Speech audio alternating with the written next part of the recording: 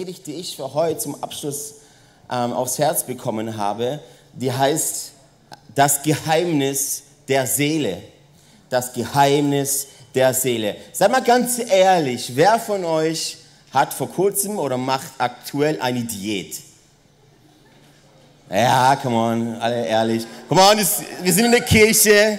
Du darfst also ehrlich sein. Julia, ähm, ich mache auch gerade eine Diät.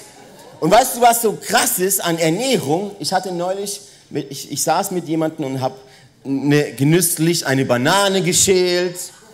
Und kurz bevor ich abbeißen wollte von dieser Banane, sagt derjenige mir, sag mal, spinnst du? Eine Banane zu essen, das sind ungesunde Kohlehydrate. Ich so, wow, okay.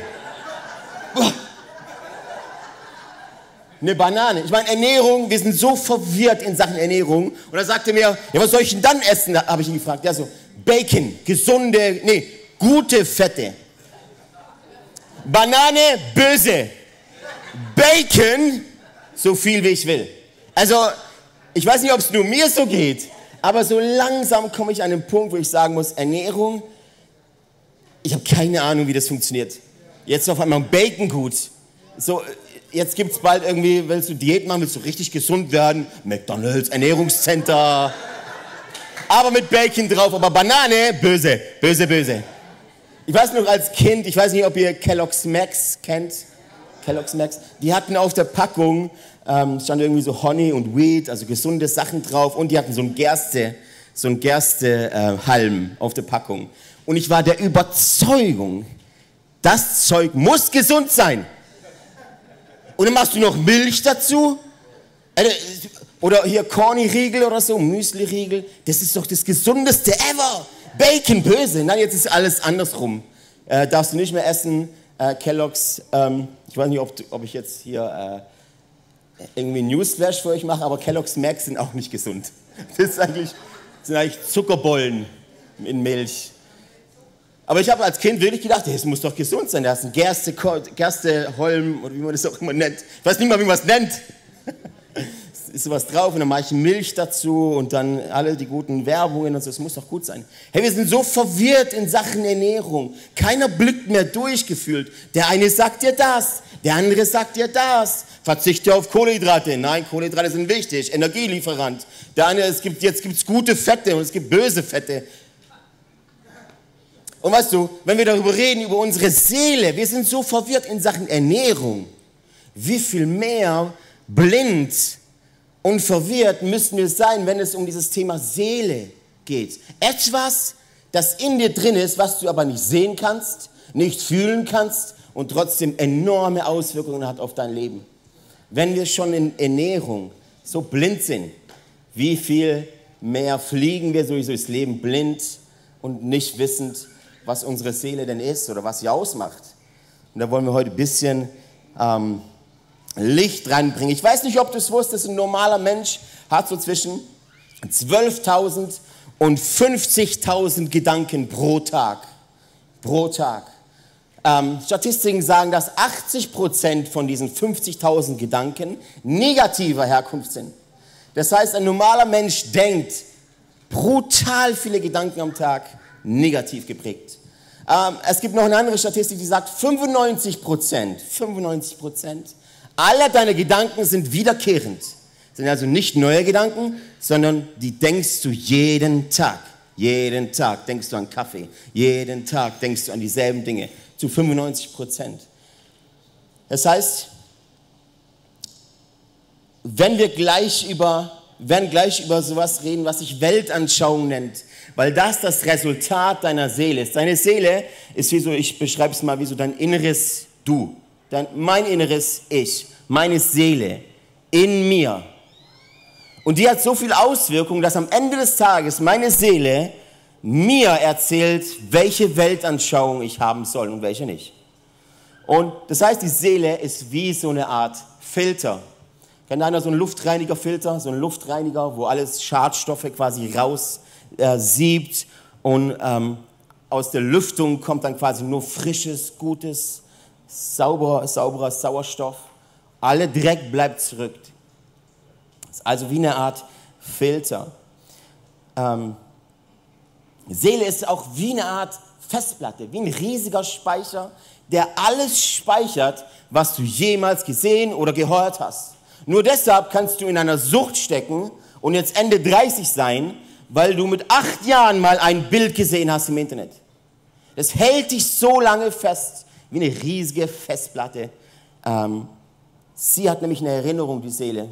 Die, sie erinnert sich dran, auch wenn dein Verstand schon lange es vergessen hat. Es ist wie eine Art Festplatte.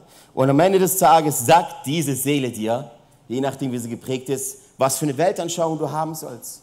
Ich weiß nicht, ob du es wusstest, also die ersten drei Jahre für so ein Kind sind prägend, die ersten drei, die ersten sechs, da lernt das Kind, was, was ist normal.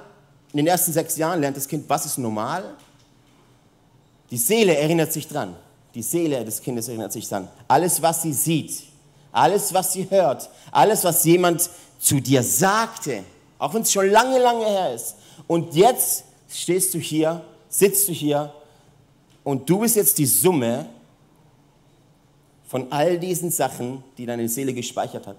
Es ist wie ein Schwamm, das alles aufsaugt. Weißt du, es gibt verschiedene, es gibt zwei Arten von Weltanschauung. Die eine ist die göttliche Weltanschauung und die eine ist die menschliche Weltanschauung. Und eines Tages musst du dich auch heute fragen, nach welcher Weltanschauung lebe ich denn mein Leben? Was hat denn meine Seele mit mir gemacht, dass ich jetzt dieser Mensch bin, der jetzt hier sitzt? Es gibt einmal die Weltanschauung, die so eine sehr menschliche Weltanschauung, können wir das mal kurz, das ist quasi das Ergebnis des Tages so, wenn die Seele spricht.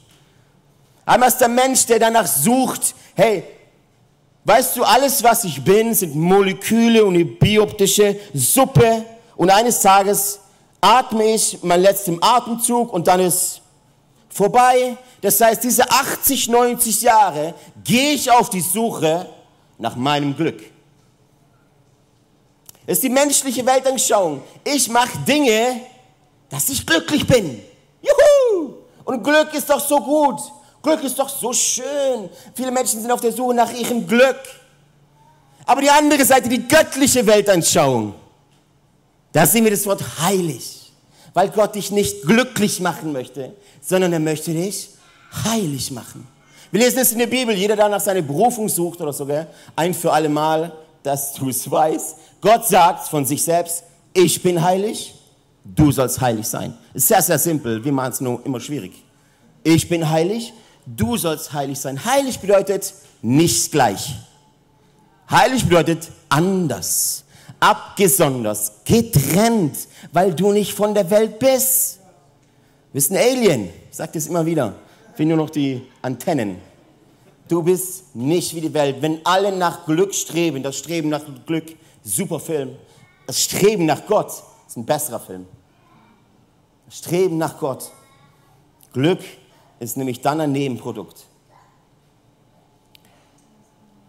Meistens erkennen wir nicht, welche Weltanschauung wir folgen. Meistens laufen wir einfach so durchs Leben und wissen nicht, was unsere Seele mit uns macht. Aber du musst dich entscheiden für eine dieser Sachen und du weißt, die Seele prägt das enorm. Das innere Ich, das innere Du. Und hauptsächlich geht dein Leben nämlich darum, wie du es wie siehst. Die Weltanschauung ist nichts anderes. Wie siehst du die Welt? Wie siehst du Gott? Und jetzt Achtung, wie siehst du dich? Das sind diese drei Rollen. Wie siehst du diese Welt? Wie siehst du Gott, dein Papa im Himmel? Und wie siehst du dich selbst? Die Israeliten, als sie nach Kanaan gingen und auskundschaften sollten, kamen sie zurück. Zehn von ihnen sagten, wir haben keine Chance, das Land ist voller Riesen und in ihren Augen sind wir nur Heuschrecken. Aber zwei, Josua und Kaleb, sagten, da gibt es Riesen, oh ja, die haben wir auch gesehen, aber wir werden sie essen wie Brot. Das heißt, welche Weltanschauung hast du? Was denkst du über dich selbst? 50.000 Gedanken, welche davon sind über dich? Und welche davon sind negativ über dich? Das, was du nicht kannst. Die Sachen, an denen du schon gescheitert bist. Die Sachen, die Menschen zu dir gesagt haben. All dies speichert deine Seele. All dies speichert deine Seele. Metaphorisch gesehen ist also wie so ein Filtersystem. Funktioniert das richtig? Das ist wunderbar. Raus kommt guter Sauerstoff. Funktioniert das nicht richtig? kommen Schadstoffe ins System raus und aus deinem Leben raus kommt gerne gute Frucht. Hast du jemals über deine, über deine Weltanschauung nachgedacht? Hast du jemals über deine Gedanken nachgedacht? Das, was du denkst, jeden Tag. Hast du jemals über deine Seele nachgedacht? Hat dich schon mal jemand gefragt, wie geht es deiner Seele? Gut? Okay, wenn gut, warum? Warum gut? Wenn, wenn ich dich frage, wie geht es deiner Seele und du sagst schlecht, okay, warum schlecht? Oder wenn du sagst gut, warum gut? Was sind die Dinge, die das gut oder schlecht machen? Wie kommst du drauf? Wie kriegst du raus, wie es deiner Seele geht? Das ist eigentlich ganz einfach, wenn dein Leben keine Frucht trägt, wenn dein Leben sich nicht multipliziert, dann musst du schauen, was ist hier drinnen los? Was ist in mir los? Was, was, ist, was ist falsch im Filtersystem? Was muss neu kalibriert werden? Was muss rausgeschmissen werden? Wir warten jedes Auto alle, weiß nicht, zwei Jahre. Ölwechsel, ich kenne mich damit null aus, aber ich weiß, Autos müssen zur Wartung. Was ist mit deiner Seele? Was ist ein simples, ein simples Instrument aus Blech und Elektronik muss regelmäßig zur Wartung. Etwas so Komplexes wie deine Seele, das muss angeschaut werden.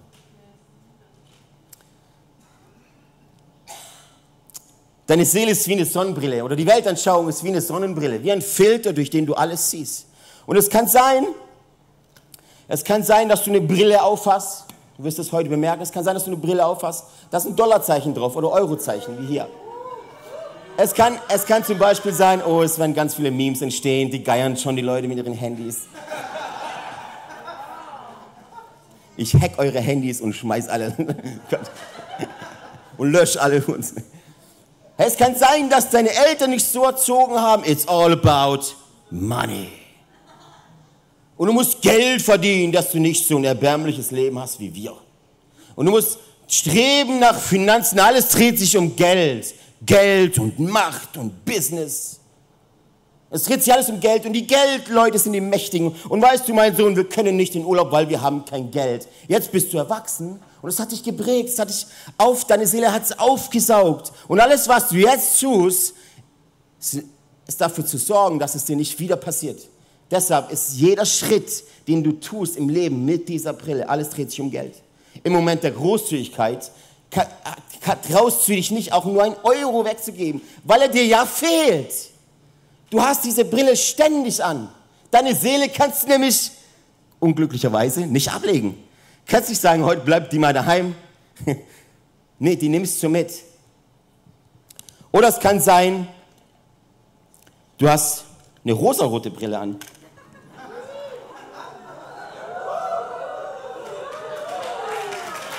Ey, ich sag euch, mit dieser Brille ist das Leben so viel cooler.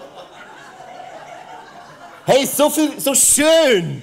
Hey, ist alles so schön. Das Finanzamt schreibt, ah, die können nur noch warten, ey. Jetzt, Zahlungsfrist eine Woche. Ja, so ernst können die das ja nicht nehmen. Also Ende des Jahres hätte ich wieder was zur Verfügung. Mal abwarten, was passiert. Aber das Leben ist so schön. Und alles wird gut. Gott regelt. Ich muss nichts tun. Hartz IV und der Tag gehört dir. Ah.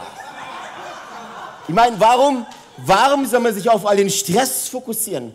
Seht ihr nicht die Sterne am Himmel? okay.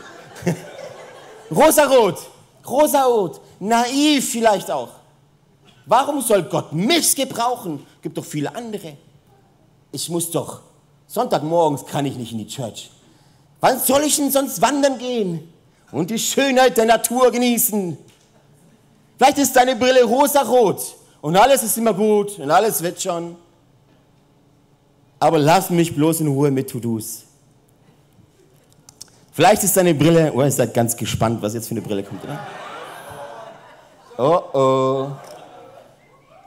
Vielleicht ist dein Leben eine große, große, dicke, große Party.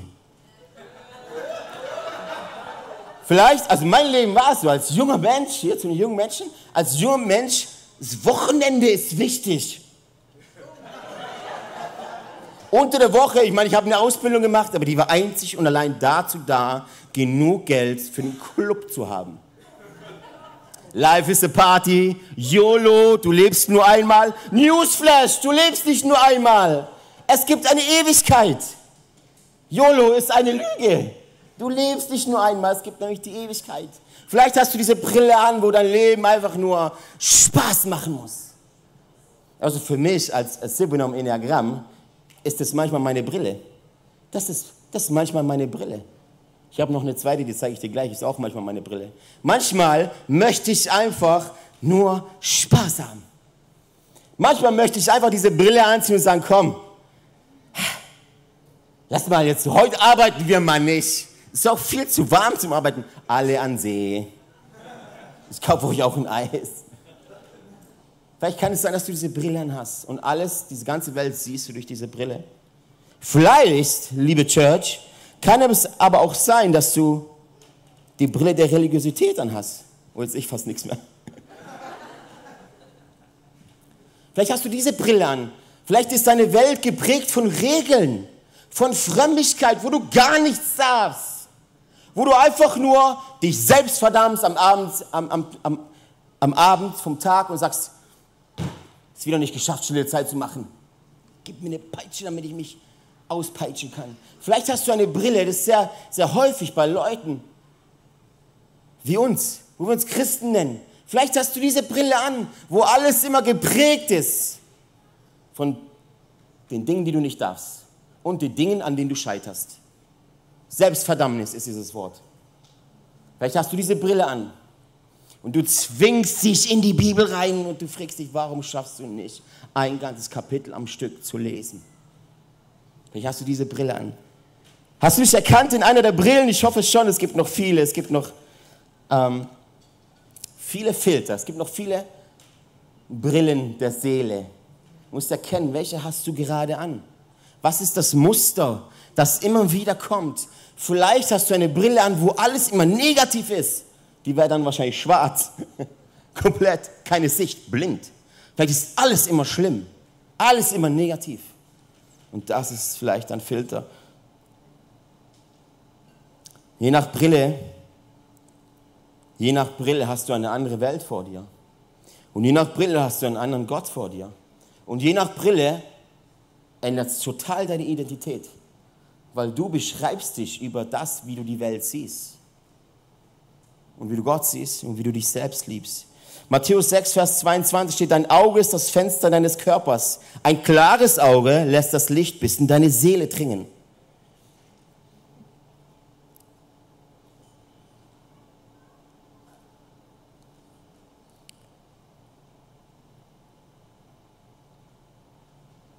So, wir haben also diese Gedanken. Können wir einmal das ganze Bild haben?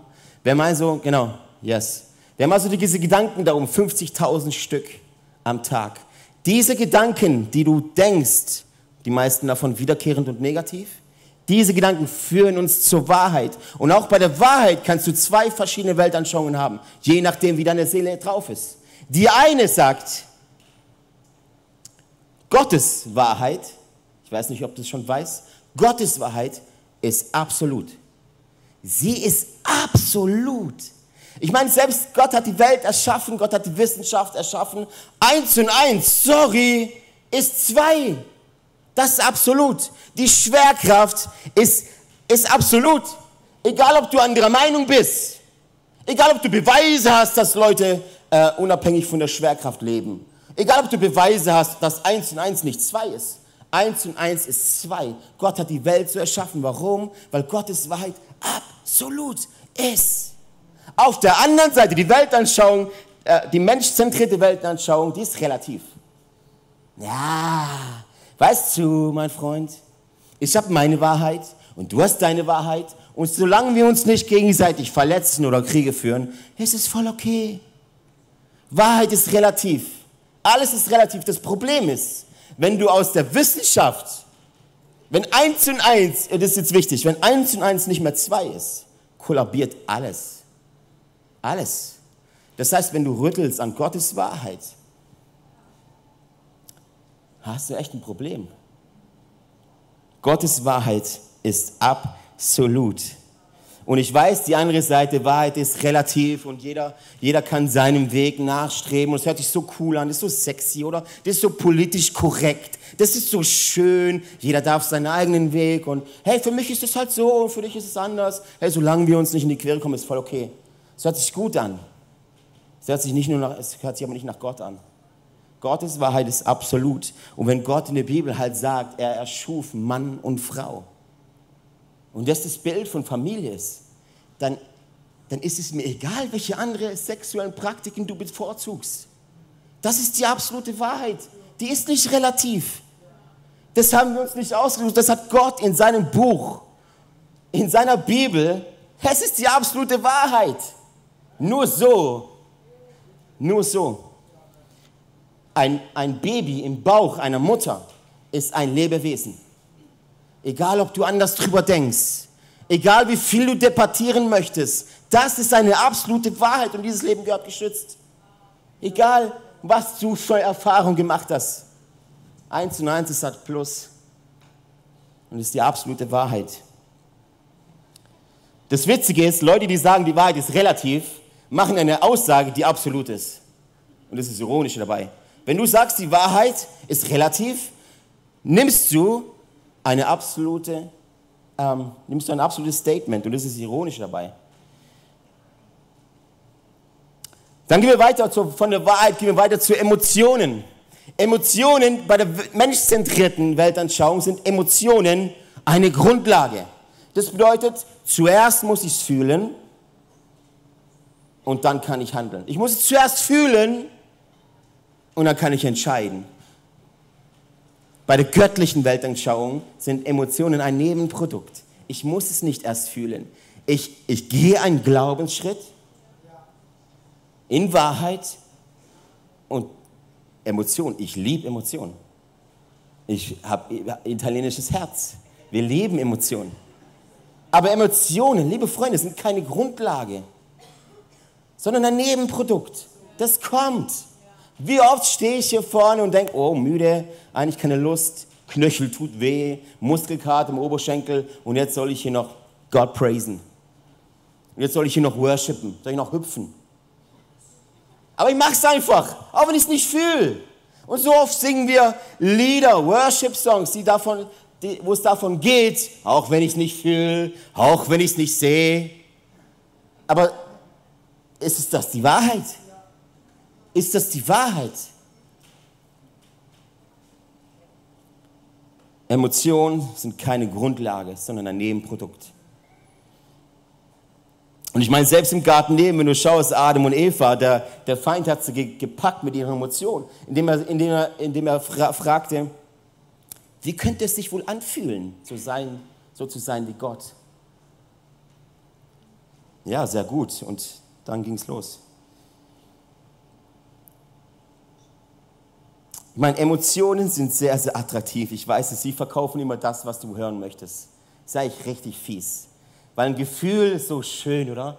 Äh, ähm, und mein Herz, und ich folge immer meinem Herz. Hollywood sagt das ja, tu immer das, was dein Herz dir sagt. Ja, und es stimmt doch, meine Gefühle, weißt du, das haben mich noch nie belogen. Deine Gefühle, mein Freund, lügen die ganze Zeit. Die, die meiste Zeit. Die, ganze, die meiste Zeit wirst du belogen von deinen Gefühlen. Äh, und wenn du eine Entscheidung triffst, das ist wichtig, wenn du eine Entscheidung triffst aus einem Gefühl heraus, ist das Resultat meistens nicht göttlich. Du verstanden? Wenn du eine Entscheidung triffst aus einem Gefühl heraus, ist das Resultat dieser Entscheidung meistens nicht göttlich. Weil Emotionen einfach nur ein Nebenprodukt sind. Dann haben wir unser Verhalten, wir gehen weiter. Wir haben Gedanken, das prägt die Wahrheit. Dann gehen wir weiter zu Emotionen und dann das Verhalten. Das Verhalten bedeutet, wie lebe ich das Leben? Wie lebe ich das Leben? Lebe ich es ich-zentriert, wo, ich, wo es nur um mich geht? Ich meine, ähm, ich mein, man, man macht doch auch Kinder zur eigenen Erfüllung, dachte ich. Oder nicht? Macht man nicht, erzeugt man nicht, ich fast gesagt, züchtet man, zeugt man nicht, zeugt man nicht Kindern zur eigenen Erfüllung? Habe ich mir gedacht. Oder ist es nicht vielmehr ein größerer Sinn dahinter, wo du dich einander so sehr liebst, dass sich diese Liebe multiplizieren soll. Und weißt du, wir, wir Christen, die haben, wir haben echt ein Problem. Weil wir leben ein egoistisches, selbsterfüllendes Leben. Da lernen wir, äh, lernen wir Jesus kennen. Wir lassen ihn in unser Herz rein. Ich meine, wie cool ist es? Ein schönes Leben plus Jesus. Plus Buddha, plus Mohammed, plus äh, Geld, plus alles andere auch. Alles rein. So viel wie möglich. Und wir lernen Jesus kennen und ändern aber nichts an unserem Leben. Es geht immer noch um mich. Jetzt sogar noch viel mehr, weil jetzt habe ich eine Berufung. Hast du eine Berufung? Ich habe eine Berufung. Versteht ihr, was ich meine? Berufung klingt fromm, klingt schön, ist nur ein anderes Wort für Karriere. Auf der anderen Seite haben wir das Leben in Herrlichkeit, wo alles, was du tust, Gott Ehre machen soll und ihn ins Mittel, in den Mittelpunkt stellen soll und ihm Ehre geben soll. Alles, was du tust, tust zur Ehre Gottes. Wenn du ein Auto reparierst, tust zur Ehre Gottes. Wenn du, wenn du ein Frühstück richtest, tust zu Ehre Gottes. Wenn du Stühle stellst, tust zu Ehre Gottes. Wenn du deine Kinder erziehst, tust zu Ehre Gottes. Wenn du Mittagessen zu Hause kochst, tust zu Ehre Gottes. Alles, was du tust, tust nicht zu deinem eigenen Benefit, sondern tust zu Ehre Gottes. Kann ich mal kurz die Uhr haben? Sonst sitzen wir um 16 Uhr noch hier. Super, danke. Super, danke. halb zehn, ich habe noch wenig. Sehr cool. Ich hoffe, du, du merkst langsam, worauf ich hinaus will ähm, da, und wie wichtig es ist, seine Seele zu kalibrieren, weil am Ende des Tages, ähm, ich weiß nicht, wie es bei euch ist, manchmal ist es bei mir so, dass wir so ein Ping-Pong hin und her springen. So zang, zang, zang, zang, zang, zang. Aber ich muss meine Seele kalibrieren und tief reinschauen. Und deshalb sind so Sachen wie Lebensberatung, Small Groups, Gebetssachen mega gut, weil sie bohren. Sie bohren tief. bald werden wir auch hier am Standort Get Free haben, wo, du, wo, wir uns, wo wir uns anschauen, was sind denn die Wurzeln des Problems? Hast du mal so einen Baum gesehen, die Wurzeln? Die sind ausschlaggebend fürs Problem. Das Problem ist nur, die sind unter der Oberfläche. Du siehst sie nicht. Jetzt kommen wir langsam in das, in das Denken rein, was die Seele für, für, für eine Wichtigkeit hat. Du siehst sie nicht, aber deine Wurzeln sind da drin. Okay, aber wie kommen wir hier raus? Ich meine, okay, wir könnten, wir könnten sagen, weißt du was? Alle unsere Babys, sobald die auf der Welt sind, ins Kloster. Ich meine, wenn die Seele ein Filtersystem ist, gucken wir einfach, dass da nichts reinkommt. Keine Schadstoffe. Also alle ins Kloster, dicke Mauern, Schweigegelübnis, kein Handy, kein Kontakt zur Außenwelt, sodass nichts da reinkommt. Das ist nur mal sicher. könnte man machen, oder man könnte es auch lassen.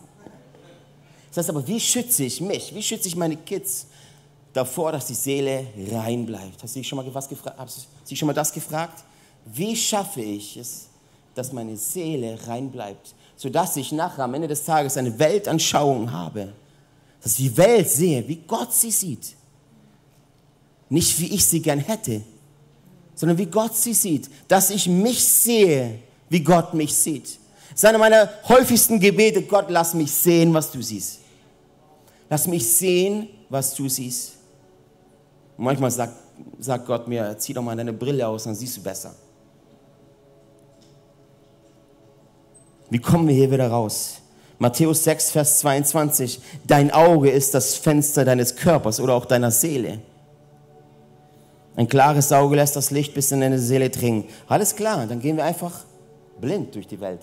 Kommt doch nichts rein. Ab ins Kloster. Wie, kann ich, wie kannst du deine Seele reinigen? Wie kannst du sie arbeiten lassen? Ich meine, du kannst nicht sagen, okay, mach halt. Mach halt.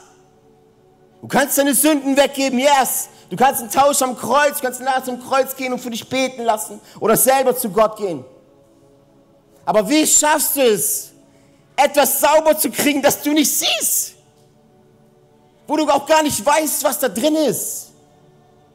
Wo du nur dein Leben siehst und es funktioniert halt nicht. Bei allen anderen funktioniert, warum funktioniert es bei mir nicht?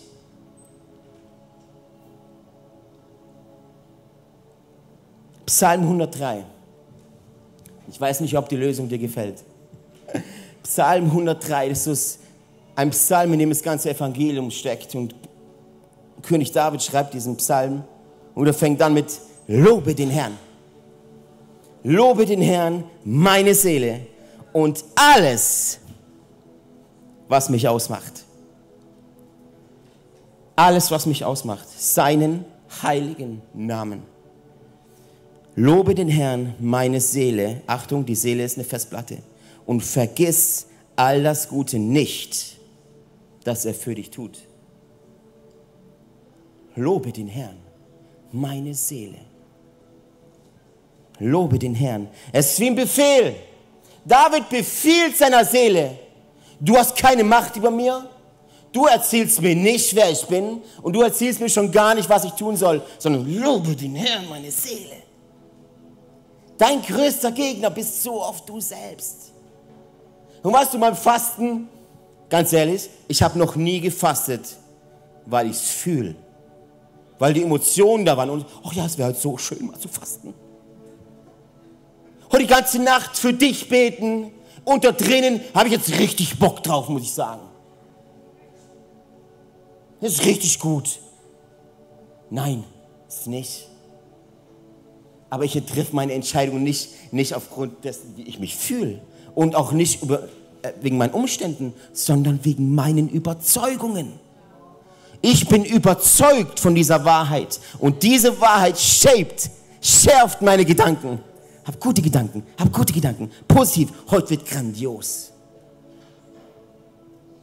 Wie reinigst du deine Seele? Du siehst es beim König David. Lobe den Herrn meine Seele. Okay, was soll ich jetzt tun, Alessio? Was soll ich tun?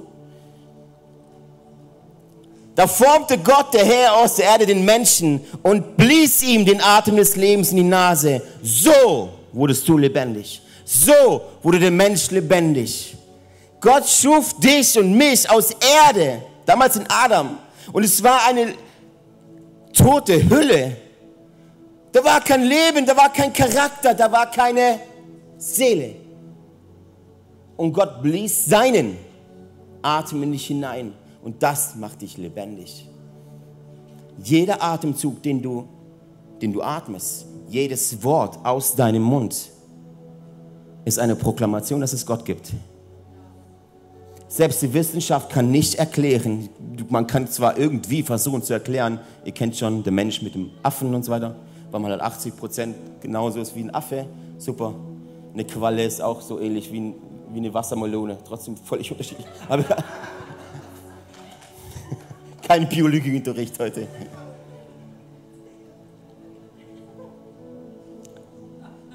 Der Atem Gottes macht dich lebendig.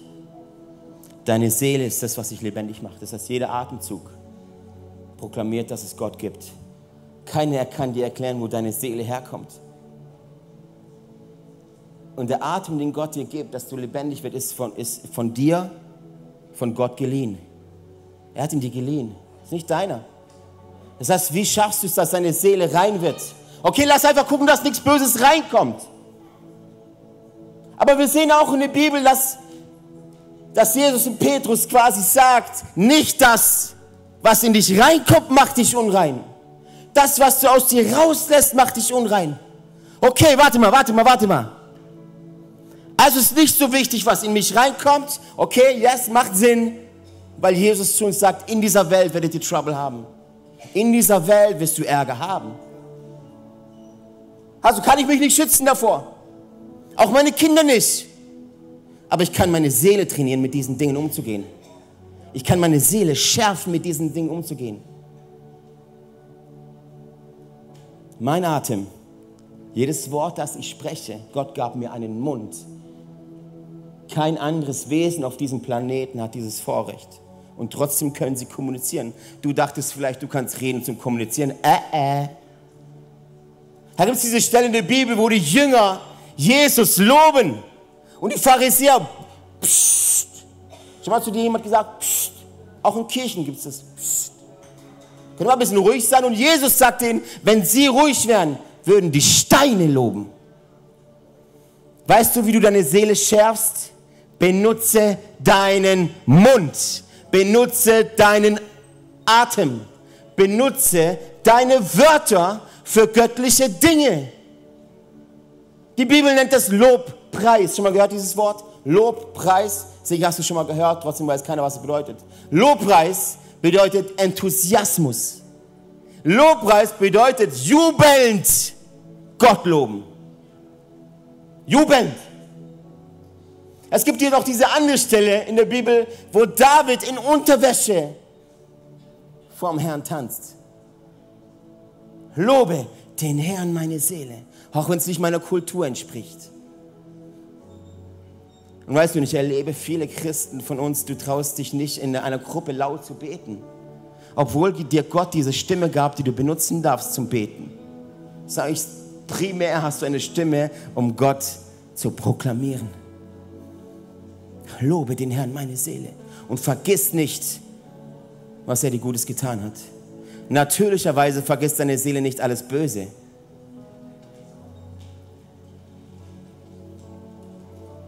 Nicht das, was sie aufnimmt, macht euch unrein, sondern das, was ihr sagt. Lobe den Herrn.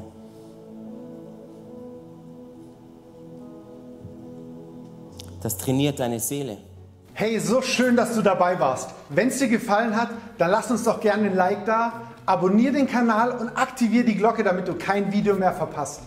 Hier findest du alle unsere Locations, wo wir sonntags Gottesdienste feiern, wo du dabei sein kannst. Hier findest du alle Zahlungsmöglichkeiten, wenn du uns finanziell unterstützen möchtest. PayPal oder andere Zahlungsmittel findest du unten in der Videobeschreibung. Wenn du neu hier bist oder dein Leben Jesus gegeben hast, würden wir es lieben, davon zu erfahren. Tritt doch mit uns in Kontakt, füll das Kontaktformular aus und wir helfen dir in deinem nächsten Schritt. Wenn du schon länger dabei bist, dann würden wir es lieben, deine Story zu hören. Teile sie doch gerne mit uns und wir feiern es gemeinsam. Bis zum nächsten Mal. Tschüss.